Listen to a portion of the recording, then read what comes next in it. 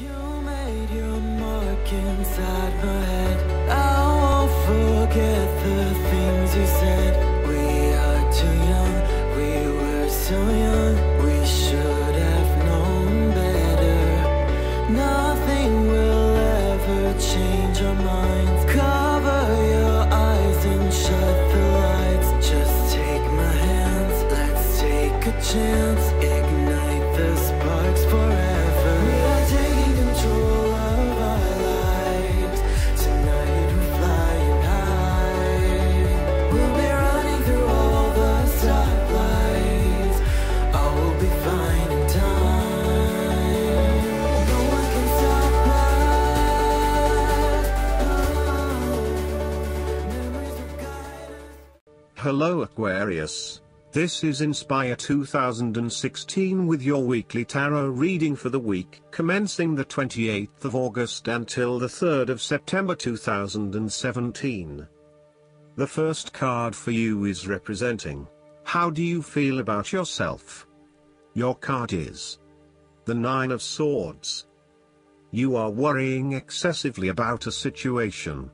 You are literally being kept up at night because you are so anxious about a particular issue. It is possible you are working yourself up unnecessarily and, if you were to look at the situation more objectively, you may come to realize that it is not as bad as you are making it out to be. In fact, all that worry and despair is what is making it worse, so rather than fretting about it, do something to change it. The Nine of Swords can also reflect fear of the future, or what may possibly happen in the future.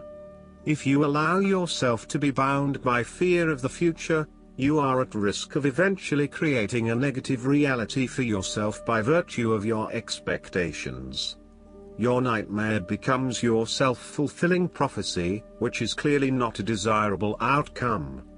Although most people experience fear, frustration and uncertainty at some point in their lives, you should not allow those negative emotions to immobilize you or keep you from pursuing your goals with enthusiasm and hope.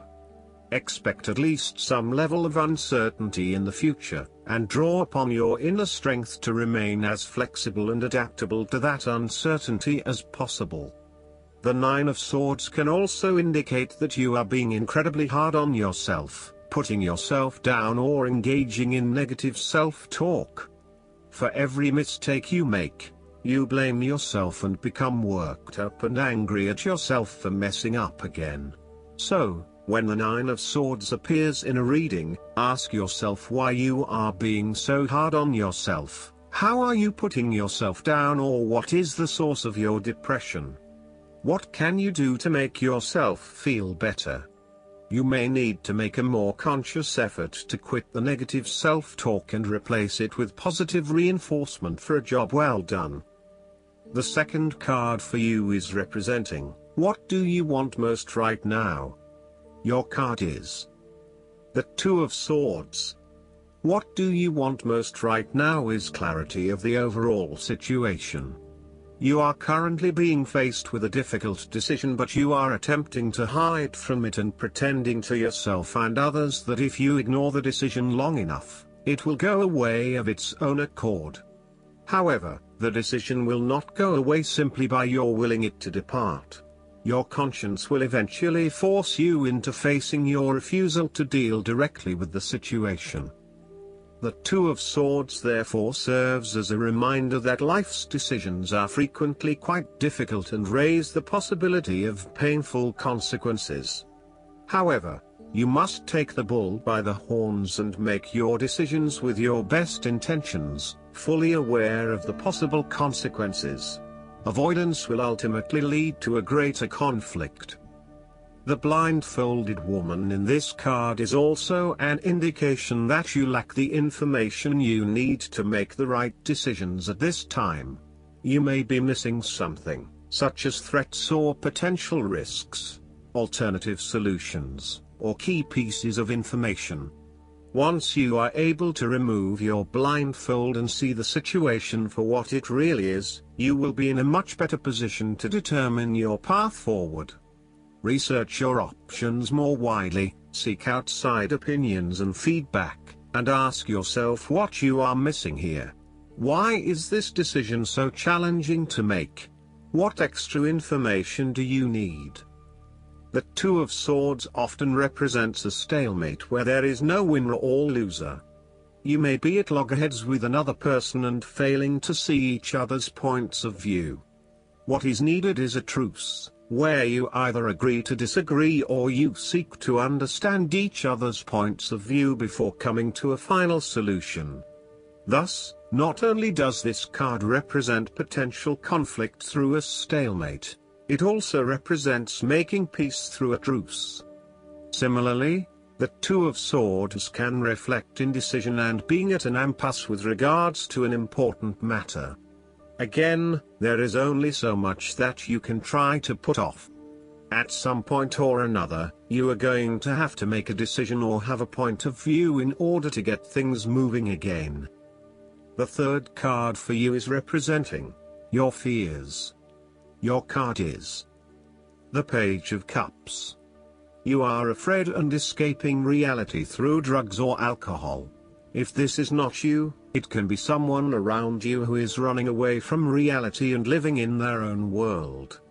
This is a person who is emotionally insecure and unable to conduct healthy relationships as he expects too much and gives too little.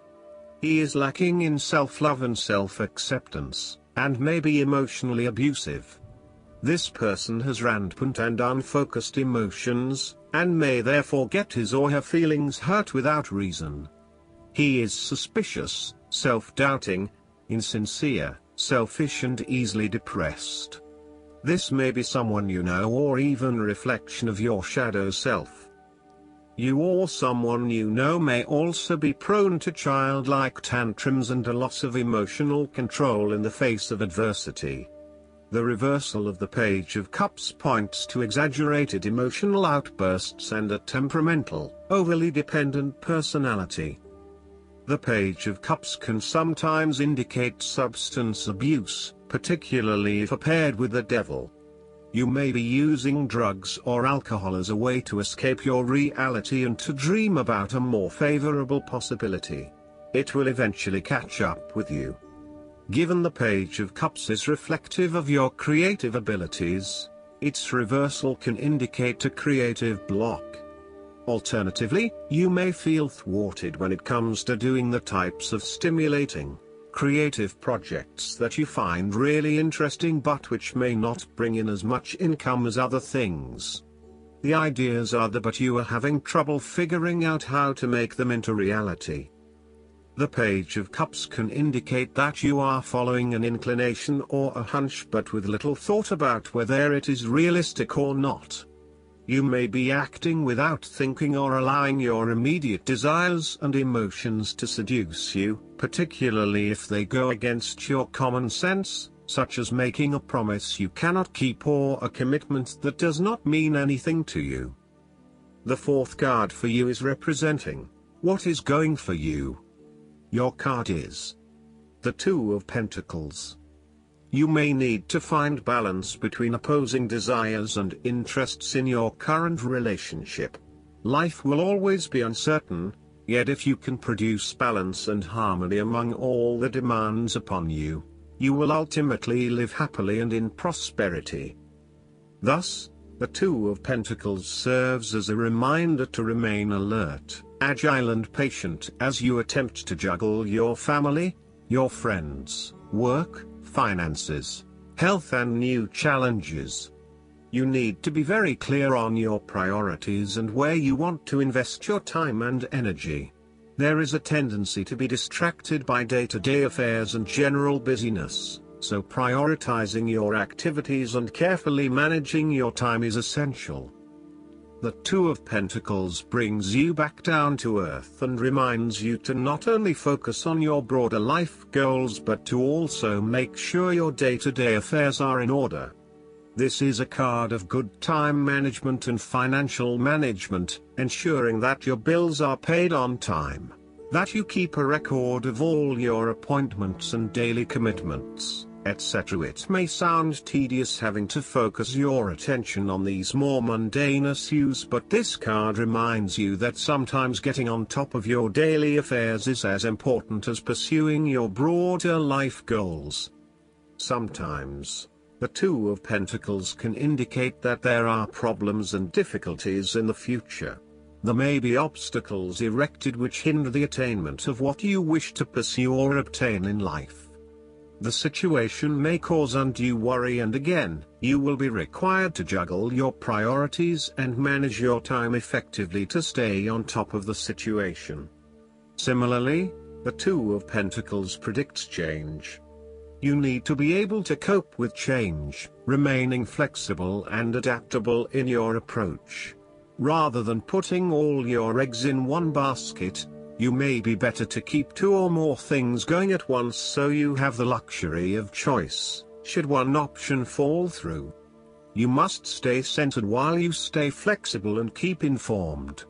Look for new possibilities, be open to change and go with the flow as best you can. The fifth card for you is representing what is going against you. Your card is the Four of Swords. You are feeling restless and wanting to do everything at once. Even if your body is telling you that you need to rest and relax, your mind may be pushing you forward, trying to accomplish a long list of tasks. You may be getting quite sick or stressed as a result, so it is vital that you force yourself to pause and take it easy to ensure that you do not become completely run down and exhausted. You may also be trying to avoid any period of contemplation or meditation on a particular issue because you are worried about what it might bring up. You need to return to the energy of the Three of Swords and confront the pain and grief that exists within your heart. You need to experience that pain as it is preventing you from being able to move on. Once you have experienced it, it will begin to subside and you will be able to live a more fulfilling life. The Four of Swords can also represent stagnation and a lack of action that is leading to increased frustration. For example, a long-term marriage is no longer progressing and is spiritually and emotionally empty. You may need to take a break from this stalled situation and come back to it when the energy is flowing better.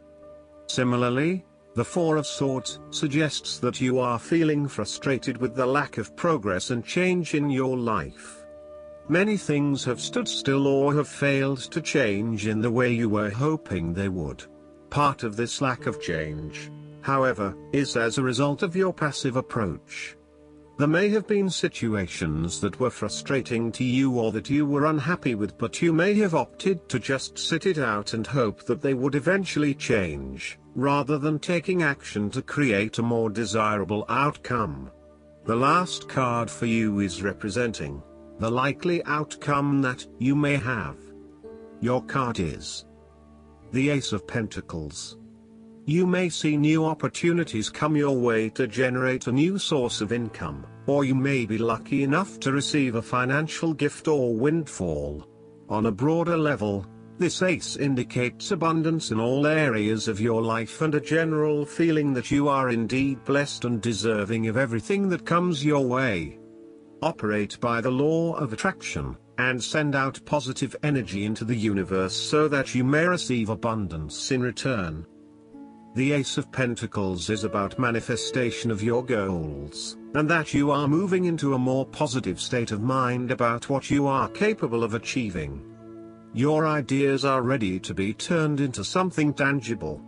Figure out what will work and make it a reality. Thus, the Ace of Pentacles sees you starting to map out how exactly you will achieve your goals, by creating targeted action plans and getting those actions underway. There are opportunities that are becoming available to you that will help you to manifest your goals and realize your inner potential, whilst at the same time generate some level of income and financial support. You are beginning to see that the world is indeed your oyster and that through careful planning, you can manifest your true goals and desires. The Ace of Pentacles can suggest that you need to introduce something new into the equation. Rather than let things remain as they are, and hope they work themselves out. The Ace of Pentacles suggests you throw something new into the mix. Consider something that is out of character or something you might not ordinarily do, or get around to doing. For instance, you might consider joining a club, taking a class to learn new skills or maybe even picking up a couple of books to learn how to build a new business. Last but not least, the guidance card for you is the renewal. The angels sent you this card because you're either near the end of a project or at a crossroads, on the threshold of making an important change. This card signifies that it's time to review and do some evaluation. Make thoughtful judgments regarding your life, and then make confident choices. Rest easy, knowing that you've prepared well. Legal situations are resolved favorably for you. In addition, academic examinations and certification tests go well. Additional meanings of this card, a landmark decision. A career or job change. Moving in a new direction. A new beginning.